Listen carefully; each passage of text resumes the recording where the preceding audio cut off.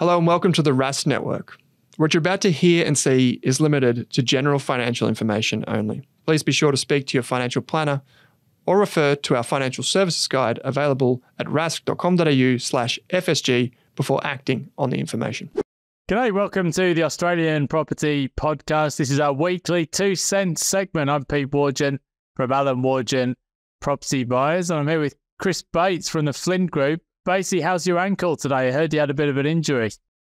Oh, I'm feeling a bit sorry for myself, and um, it was pretty uh, horrible coming home at nine o'clock last night, driving with my left foot, um, calling my wife on the way and saying, "Oh man, I'm in pain. Um, can you get the drugs ready?" Um, so yeah, nah, I uh, thought I was killing it. You know, 500 days of my health kick yesterday as well, which was a coincidence. So I'm like, "Yep, this is going good," and then bang, life teaches you a lesson, right? Uh, tried to turn at full pace the other direction, and uh, the good old 37 year old ankle decided to to give way on me. Um, excruciating pain. So uh, I'm sure it's not as bad as it felt, but um, like man flu, men like to whinge about their injuries. So yeah, my poor wife was running around crazy after the kids this morning, and I'm just uh, my foot up on the couch. So how are you doing, Pete? How's life going there?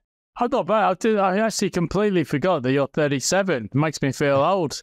Uh, yeah, the break. Oh, I've, done my ankle multiple times. It's probably my most feared injury. It's absolutely horrible. So, uh, yeah, get get an ice pack on it and rest for a week or two because you don't want to make it weaker for the future. Yeah, I've been real busy. I uh, flew from Perth to London this week. Uh, first time I've ever done that. 17 and a half hours direct flight with Qantas. All right. Yep. Good. Which was pretty good, to be honest. I, would actually do it again. I think it's better if you can to rather than mucking around with a few hours here and a few hours there. Just just get it done, bang. And uh, it was it was pretty good. The kids slept uh, for a decent chunk of the way. Uh, Western Australia was great, really interesting.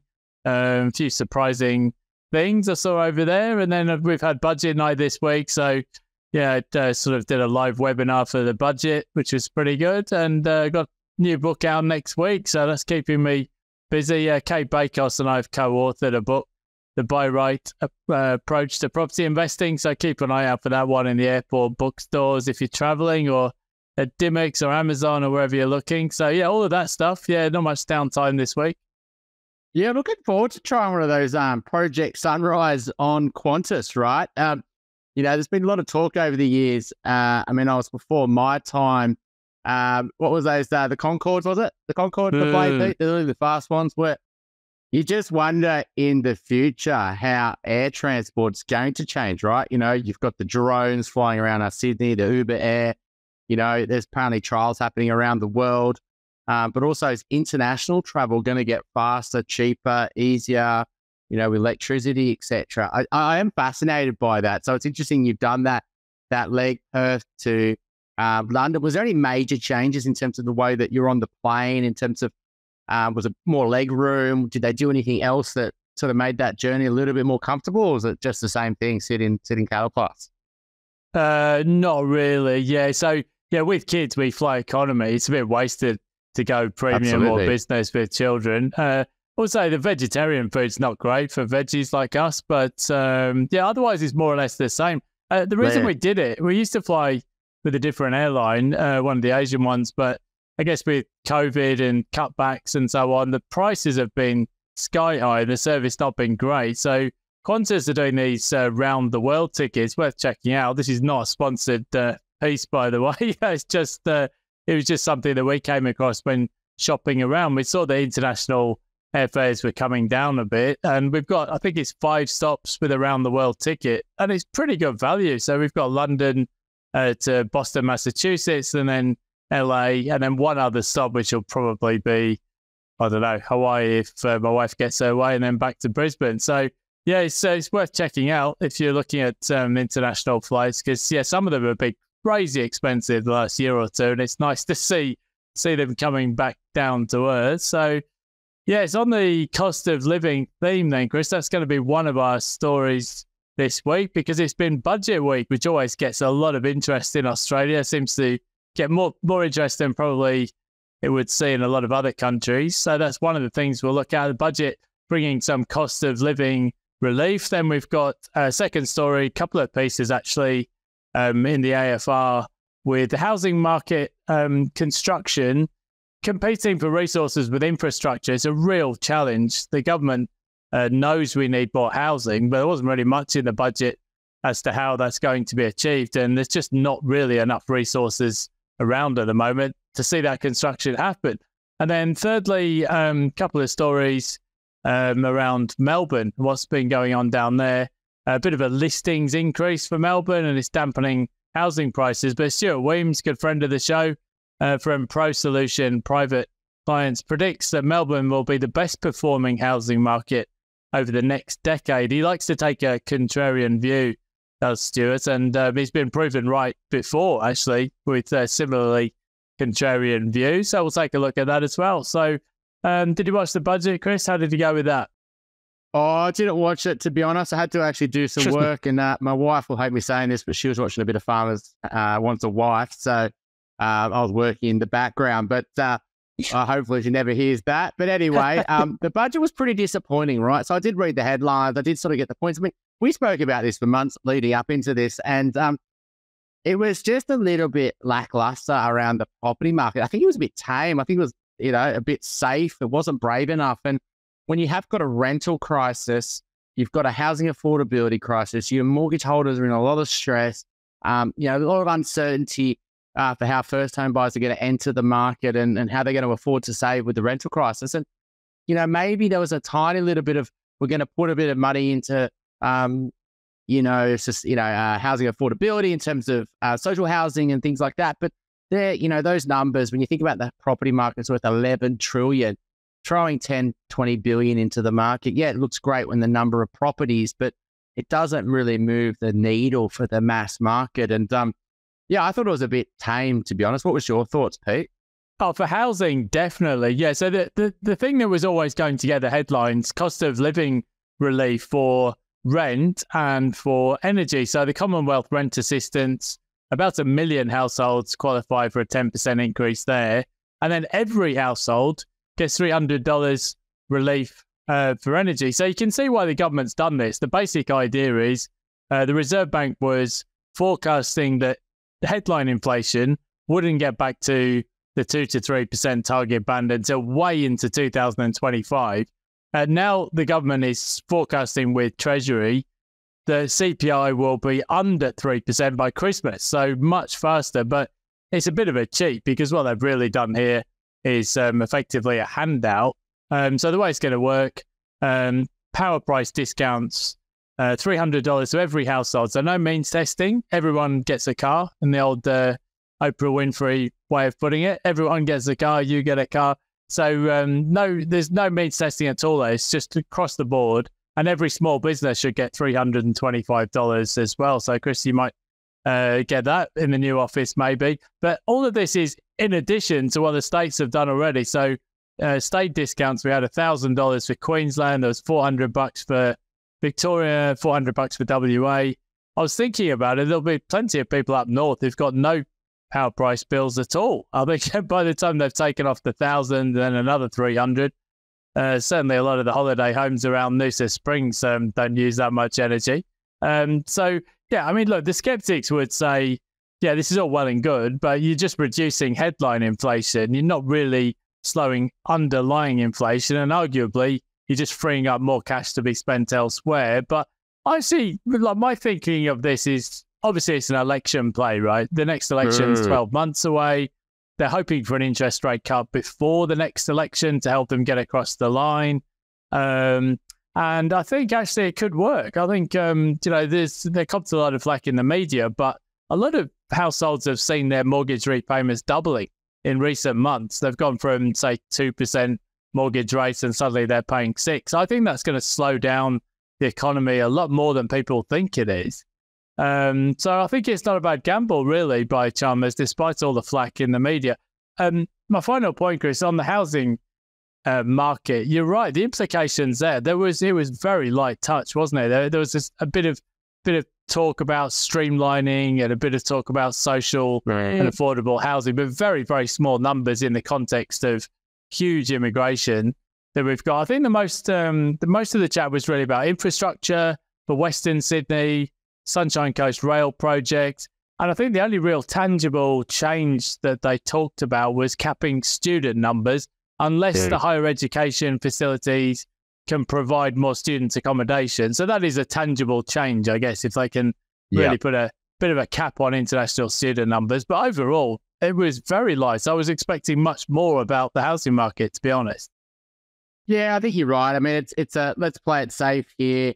But I think in 12 months' time, are we going to still see a rental crisis? Absolutely. Investors are going to keep bailing, and, and particularly the investors are not going to reinvest where the investors are leaving. And that's a real shift to our rental stock. Um, you know, investors are selling out of, say, the housing market in our capital cities, all the unit markets in our capital cities. And a lot of investors are going regionally because of borrowing capacity, because they don't want to buy apartments. And they're going there because there's a lot of uh, noise around that type of investment property right now, I would say.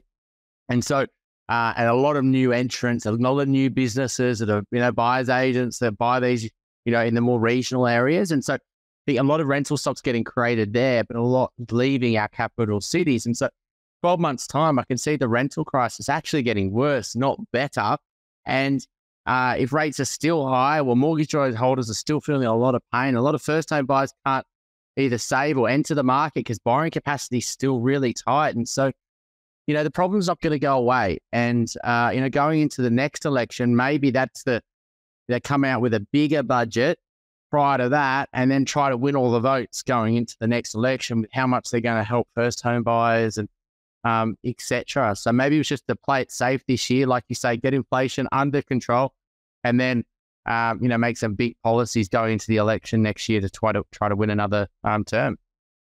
Yeah, we really don't know what's going to happen with inflation. It, it's interesting. There's definitely a present uh, bias here or recency bias. I think people have got into their heads that inflation's been high and therefore it will always be high. We'll never get it under control. But you know, you got to remember we had five or six years where inflation was under two percent, and I think it's um, a lot of this has been driven by an unprecedented um, uh, series of lockdowns and stimulus measures. But um, yeah, in the US, um, just as we speak, uh, overnight inflation was a bit softer than expected there. Um, Australia saw the wage price figures this quarter were a bit softer again, softer than market expectations. I think things are generally moving in the right direction. I think um, Labor will be hoping, yeah, an interest rate cut before the next election, or if not, they can at least say, well, hey, look, we've taken some of the cost of living pressures away from you. Uh, but yeah, actually, interestingly, uh, spending was pretty high. If you look out uh, 2025, 26, 27, 28, well, payments as a percentage of GDP are going up. So um, normally in Australian budgets, you would expect to see um, government's net debt coming down, but it's actually just going to rise and rise and rise and rise in the years to come. I mean, in the context of Australia having a pretty low government debt, certainly compared to a lot of other developed countries, but it's pretty interesting, uh, really splashing a bit of cash around. There is a lot of wastage in Australia, but that's a bit off topic for today. I think um, yeah, overall for the housing market, there just wasn't that much in there. I was expecting much more talk about build to rent, but that sort of, uh, I think the interest is cooled there a little bit, uh, probably because a lot of international developers would say, well, hell, I can, I can get a risk free return of four or 5%. Why would I bother going into build to rent for returns of a bit more? It's probably not worth the effort. Yeah, and I think you um uh, the infrastructure is an interesting conversation because that leads us into story number two, right? Um, there's not really a lack of infrastructure investment, and infrastructure takes a long, long time to, to work its way through roads, trains, you know, etc. They don't just go up in uh, a year or so. So, what's your take on that, Pete? Because that really leads into story number two. Yeah, it was actually there were two stories actually by the guys at the Fin. And mm. so Larry and Michael both did pieces which were slightly different, but with similar uh, themes, I suppose. So, yes, we've got cuts to student numbers coming, but overall population growth still high. And that requires a lot of housing and a lot of infrastructure at the same time. And I think um, some of these infrastructure blowouts and delays and overruns, um, and there's just been massive investment in infrastructure, which was kind of needed to bridge that gap through the pandemic. But that's just pushed up construction costs. So the whole uh, development cycle for high rise housing, which should have really kicked off, it's just been pushed out. It's been delayed by a year. One of the measures actually in the budget was um, the fast tracking of visas for 15,000 skilled construction workers and tradies. And that, that is one of the issues. There's just not, not been enough available people with the right skills. Um, but there's also been pressure on, on costs and materials. I think um, as a corollary or as an outcome of this, um, it, the the Labour government's plan to build 1.2 million new homes by 2029. Well, it's just not happening at the moment, is it? Um, so Larry's piece in the Fin Review said uh, this is just a quote: cautious lenders are shunning larger and more affordable housing projects aimed at first-time buyers, and instead they're focusing only on funding smaller luxury developments with bigger profit margins. Basically, stuff's just not feasible uh, for the more more affordable developments. Land prices are too high, construction costs are too high.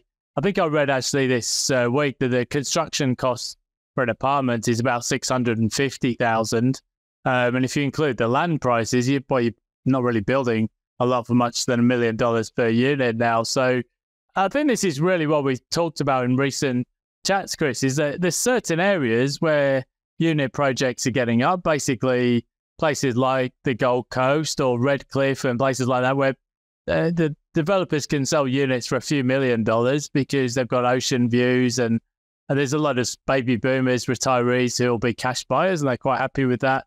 But they're just it's just that middle ring suburban apartment block is just not making any sense at today's prices and they're just not getting built or financed.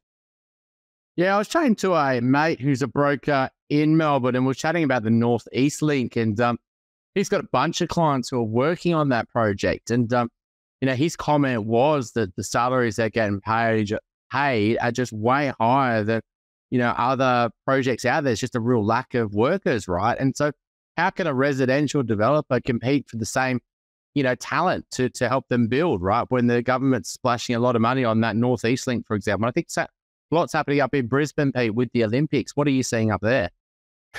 Yeah, this is uh, just a silly anecdote for you, but uh, just a week or two ago, or maybe three weeks ago, um, was just in Noosa Civic there, and there was a news story that was flashed up on one of the screens there about uh, lollipop workers. Is that what they still call them these days? You know, the people who flip their signs around are getting paid the best part of quarter of a million bucks on some projects, um, on infrastructure and FIFO workers and so on. I mean, it's uh, it's one of those silly stories, but I think um, look, there's there's a lot of pressure from the construction unions in Queensland to push for huge pay increases from uh, the next financial year. So whether or not they get those across the line, I don't know. But yeah, I mean, the, there's the same issues. Um, there is just a phenomenal amount of stuff going on around places like Ipswich, south of Ipswich, Caboolture.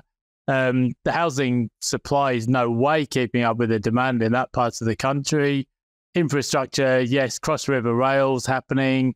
Uh, there's all of the stuff with the Olympics that come. There's just so much going on. Roads, sewerage. Um, yeah, and it's it's difficult to find the people really, and and and not not least the resources. And yeah, construction costs are up. Um, yeah, for infrastructure, they're probably up forty percent. For housing, up fifty percent since pre-pandemic. Um, so yeah, I mean, it's a lot of the I suppose, unintended consequences of the lockdowns and all the infrastructure spending that was put in place. And in a lot of states, people are getting fed up because of the overruns, especially in Victoria. A lot of projects seem to get talked about, but never seem to get finalized or delivered. Um, so, yeah, a lot of challenges there. I think things are normalizing somewhat, but it's a bit of a way to go. Yeah, and I mean, even in New, uh, New South Wales and Sydney, you've got the Metro West, you've got the Metro Southwest that's starting to get close to be finished. You've got all the Warringah Freeway and the Second Harbour crossing. you've got the Gateway around um, Sydney Airport. You've got Western Sydney Airport. you've got Western Sydney Metro. You've got, you know, the list goes on, right? Upgrading to our trains up to Newcastle. Um, got the F6 down towards um, uh, the Shire. Stage one's getting done down there there's probably plenty I've missed out. Yeah, the government canned a few projects, like where I am up to the beaches. Um, that got cut pretty quick. Uh, uh, in the in the last uh, election, but um, yeah, I mean, I think there's just enormous amount of infrastructure that's happening, and um, yeah, they've they've slowed it down, but there's just a lot. You know, we're talking a good decade worth of work. I would say still to come. And so it's going to make it really hard for us to, to pick up the slack here in the housing market and start to build what we need to to match our migration, but also our pent up demand and demographics. I think if we we think about it, um, there's a lot of people who are renting that want to enter the market who wish they entered three, four years ago, or they they want to upgrade, get out of the parent time, or they want to upgrade from an apartment to a townhouse. They're stuck, right? So as soon as they can afford to do it, they want to enter the market. Plus, as years tick over, right, more and more people, you know, get older, they couple up, they want to have families, and they want to upgrade or they want to enter the market. And you know, Bernard Salt's very good at sort of, um, you know, if you want to follow demographics, it's just understanding how the the future demand of the property market with demographics, let alone migration. And um, then you look at the other end of the scale, you know, around the older generation and all their challenges around downsizing and aged care and uh, and how that's really slowing down um, the transaction of property. So, yeah, it's uh, another one to watch, but it's just not good news for uh, supply of new property in Australia. It's uh, when we've got these competing interests for talent. So, Let's go to story number three, Pete. What are, what are we what are we doing? There's just one other part to that second story that I'll just throw in before we move on. Mm. Uh, yeah, Sunshine Coast project up to uh, uh, yep. our neck of the woods is going ahead. So uh, good news if you're uh, an investor in Maroochydore or places like that. It's long overdue, I should say. But um, yeah, just on that point, I was chatting to um, a chap this week who's um, he's living in Melbourne but born and bred in Mooloolaba. We were just talking about those projects around places like Maroochydore, they're just stalled. They, they're just not completing. There's a lot right. of stuff that has started in the housing market, units, apartments, townhouses, but they're just not being delivered. And I think there's a sort of subplot here, and that is the number of construction industry insolvencies over the past year. It's, it's over 2,300. Um, a year ago, well, that's up by 34% from a year ago, ASIC figures. So um, there's a bit of that going on. And we know the industry has a lot of phoenixing.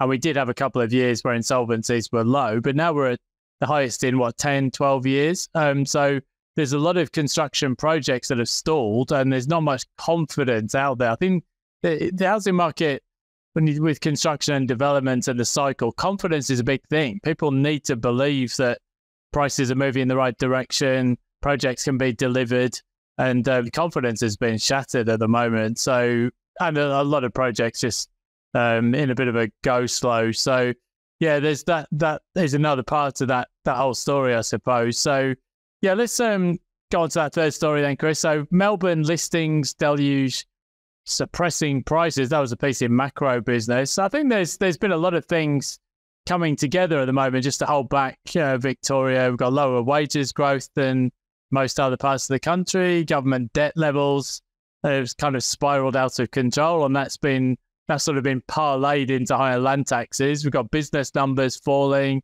in Victoria, and in the housing market, listing numbers have suddenly picked up. Um, not very high, I suppose, overall, but new listings are rising, and that's uh, just pushed down uh, housing prices. Well, in, in the context of housing prices falling by 0.1% in a month, it's nothing uh, nothing material, but other parts of the country obviously have seen prices rising, like Brisbane and, and Perth. Um, so I guess the uh, story that stood out to me, Stuart Wemyss from ProSolution, headline Melbourne property will deliver the strongest growth over the next decade. And um, I think um, Stuart likes to take a contrarian view, and he, he points out that in 2018, he wrote a compelling thesis on why Brisbane was the market poised for significant growth. And actually, uh, he's absolutely right. I think um, since then, prices are up about 70% for houses in Brisbane. Uh, and at the time, that wasn't a popular view. So now he's really saying, look, there's negative sentiment around Victoria today. But if you look a decade out, there's relatively speaking better value in Melbourne suburbs, um, certainly cheaper compared to a lot of other cities um, versus historical averages and also very high population growth projected over the next decade. So he thinks the fundamentals are pretty strong. It's just at the moment everyone's got a downer on Victoria and Melbourne. Yeah, and I think that's a it's a good way to think about it when you are counter cyclical, right? You don't follow the herd. You sort of make a bet where everyone else isn't buying, and hopefully you can be patient and you get ahead of the party.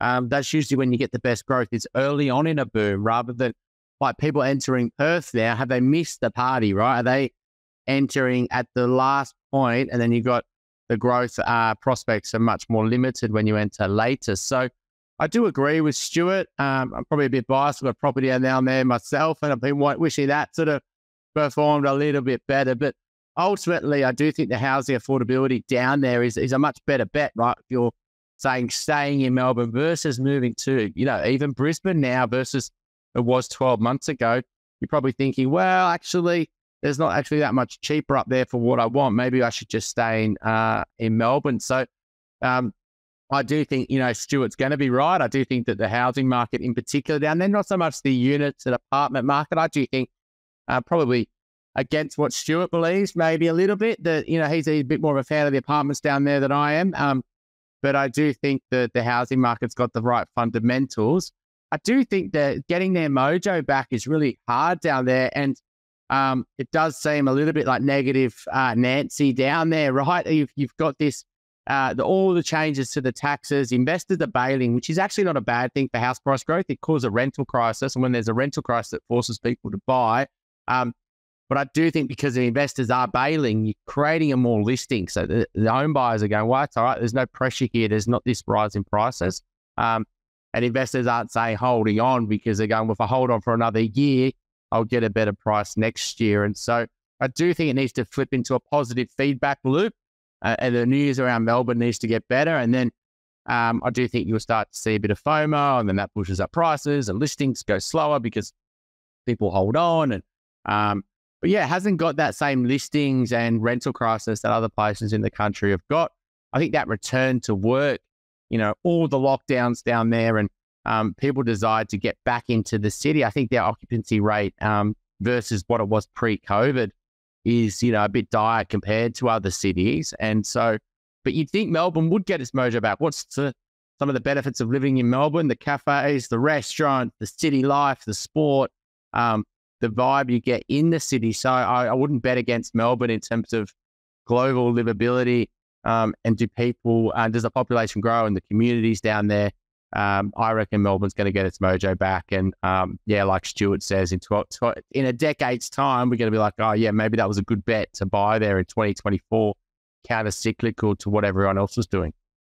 It's a popular choice. Um, I think, especially with families who want to get onto the housing ladder. And don't forget, Australia's immigration is now going to be largely driven by immigration from India. So, and a lot of Indian families will want to have a detached house. They don't mind being necessarily further from the CBD. I think, uh, you know what? I was actually thinking this week, it's interesting to look back because um, I was chatting to Kate Bakos because we've been writing together with our new book. And I was looking back at some of the things I predicted, you know, 10, 12, 15 years ago. And you look at back at the stuff you get right and you give yourself a pat on the back. But there's loads of stuff, uh, if you're honest, where I just didn't didn't predict things uh, as they've turned out. One of the things was um, I just never believed that houses in Western Sydney would achieve a million dollar price tags. I just didn't think that would happen in such a short time frame.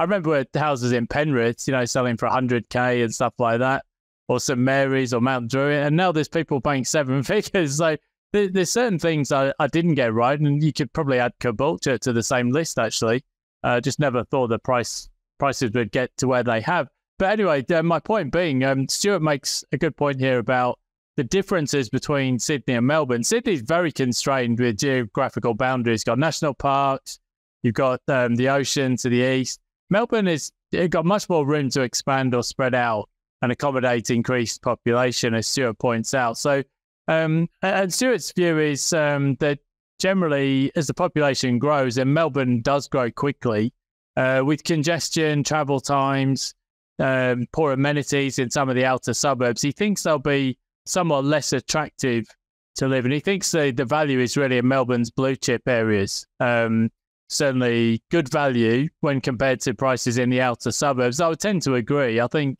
the outperformers will be the landlocked, desirable suburbs, um, maybe a bit closer in. I think, uh, yeah, I, I, was interested when we did the Rask uh, roadshow out of Wangaratta um, last year, just driving out to the very outer fringe of Melbourne. And gee whiz, there's some houses out there stuck with not much around them. There's just houses and then fields.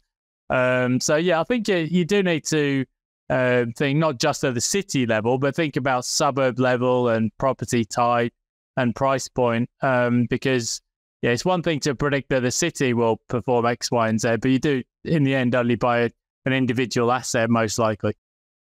Yeah, and I do think that the getting stuck in your home is going to start to become a real problem in Melbourne in terms of people would go, oh, well, I'll buy a starter house and I'll upgrade to a three, four bed house. And I think that that jump's going to be too big for a lot of families, you know, particularly as, like you say, the premium suburbs do outperform, particularly the bigger houses with the work from home. And, um, you know, that gap will be too big to, to make. And so what that'll do is it'll slow up listings and people will get stuck in their homes. And so you know, like you see, you can easily see that up in um, in Sydney where people are, yeah, I'd love to upgrade, but I just can't do it. And so what I'm going to do is stay and renovate. And I think that's going to be uh, probably the transition for Melbourne is that people go, well, yeah, this is my forever home now. And yeah, I'd love to live maybe a bit closer down the bayside, or maybe I'd love to live a bit closer to the city, but I can't afford to make those jumps. And so the freezing up of the housing market, I think it's also going to get hard to rent houses down there because more and more investors aren't going to be able to afford to go into the Melbourne housing market. It's a slow death of renting a house down there. It's always been pretty easy to rent a house in Melbourne, in fairness.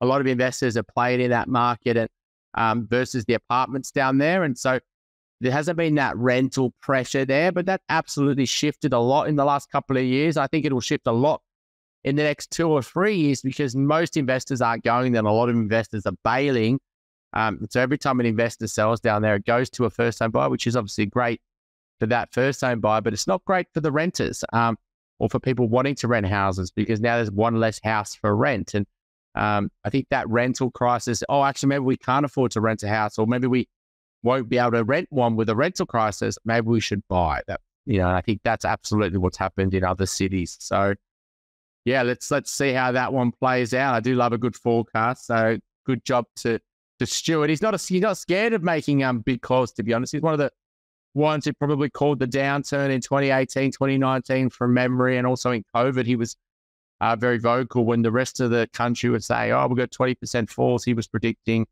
um, up. So when Stuart talks, a lot of people should listen. Yeah. So his point being really over the past three to five years, Sydney, Brisbane, Adelaide, and to some extent Canberra have all had good performance, but Melbourne's underperformed relatively to them. And therefore, if you were to think um, think of it like a mean reversion or a quilt of returns, Melbourne's probably going to be due at some point over the next decade. Uh, just a, a little anecdote for you. I was just chatting to um, a few people off the record this week uh, about what's going on in Perth, and um, there's a bit of talk about some of the new buyers agents in the industry, um, sort of pumping up prices in certain suburbs because they're all targeting the same places, it's, it becomes like a self fulfilling prophecy. And um, yeah, there's there's a lot of FOMO going on, I think, in the Perth market at the moment. And uh, yeah, I mean, it's uh, that's not really um, uh, chasing quick gains is not really how I tend to think of the property market. You're really looking to make ten year decisions here, or ideally twenty or thirty year decisions, and not getting too caught up in uh, the the sort of uh, frenzy period of the cycle because um, when the tide goes out, uh, you might find that some of that demand was a bit artificial. So yeah, just uh, be a little bit careful depending on where and what you're buying at the moment because some parts of the country are still pretty hot. Yeah, I guess a way to think about it is, um, yeah, maybe you can uh, buy these markets, but when you really want to buy, kind of back to my last point, is that you want to get there before the party, right? And so if you're starting to enter now and prices have already started to run and you want to just get that last half of the growth or even let's say and it, but it doesn't happen and it stops. And usually what happens is there's a little bit of a top of a of a mountain right? A lot of that last bit of um, hot air quickly evaporates and prices do come back a bit straight away because it overshoots and then it pulls back. So let's just say you did get buy it right at the top or close to the top and then all of a sudden it pulled back and you got stamp duty selling costs then you got this kind of confirmation bias, like this sunk cost loss aversion plays around, and then um, you decide to hold on, and then bang, it actually convert, you know, corrects a little bit more. It doesn't grow, stabilizes. Then what you can do is you can get stuck, and what ends up happening is now you end up burning time. And what you you go is, oh, maybe I should have been better to invest in this city over that city. And what ends up people people do is they just don't make a decision and they hold on and they just rent it out for 10 years and they just basically don't get any growth. And um, what they've really missed is the opportunity costs of potentially betting on more safer market that had better, stronger, longer term fundamentals. And they just don't invest because they just hold on to that property that they did a bit of speculation to try to um, make some money in the short term. And so that's where it goes wrong, right? And so I think that's what people should realize that the problem is it's hard to trade property. It's hard to trade in and out of markets. And, you know, I don't really, not really a fan of that type of buyer's agent. Uh, it's great for them in fairness because they can do more transactions rather than buying one property you hold for 30 years. Buying uh, three properties, selling three properties, buying other three properties, um, you can see which is a better business model for a buyer's agent, right? So um, that's that's my concern there. Uh, and also, one is if they get it wrong, right? They're not gambling their money, they're gambling your money. And, um, you know, it's really hard to call it right. You get one wrong, does that just wipe out the growth? And um, it's not that simple. What happens if you can't buy as well? Like people's situations change, borrowing capacity changes. And so, you know, that ability, that opportunity to buy that investment property is wet as well. So just be conscious that that belief that you're always going to be able to borrow and buy another investment property in the future is going to happen. I've seen that not work out as well. Quality over quantity has always been our uh, mantra, hasn't it? Chris, I think ever since yeah. we first met, I think we've always been on the same page there. So let's Absolutely. wrap it up for this week. So the budget 2024 will bring cost of living relief, but not really much in terms of housing market solutions. I think a lot of people are a bit disappointed with that. Um, secondly, um, well, the housing shortage is not going to be solved anytime over the next couple of years. Too much competition with infrastructure for resources. Uh, the AFR covered that this week. And thirdly, a bit of a listings deluge for Melbourne. That might be overplaying that story a little bit. But um, yeah, Stuart Wemyss makes a good point there. Don't bet against the Melbourne comeback uh, because over the course of a decade, uh, things will uh, work out through the full cycle, I guess. I think um, there's definitely a recency bias that people have. And at the moment, uh, Melbourne's had a slightly slower period over the past four years or so, but um, most of these things go round in a circle and most markets have their day in the sun. So I think that's about it uh, for today, Chris. So uh, you should get, get an ice pack on that ankle. Don't hobble around the office too much uh, this week. And we're doing um, a couple of uh, Two Cents live shows coming up. So keep an eye out for those as well. Um, we'll get Owen on the chat as well. Always good value. Absolutely, Pete. I hope you enjoy your time over in the UK and you um start to enjoy the springtime over there. When I was living there back in 27, 2007 to 11, this was a pretty special time of year to be in the UK. Everyone's pretty excited about the summer to come. So enjoy your time over there. It's 22 degrees this week, and people are already complaining it's too hot. Uh, some people are never happy, but uh, yeah, no end in sight, as they always say in the media. So, um, yeah, hopefully a good season of cricket ahead. Um, so, thanks, Chris. I look forward to chatting again on Two Cents Live. Chat, chat next week, Pete. Thanks. Cheers. Thanks, everyone. Thanks for watching this video on the Rask Network. While you're here, don't forget to like and subscribe so you can get videos each and every day on business, finance, investing, and so much more.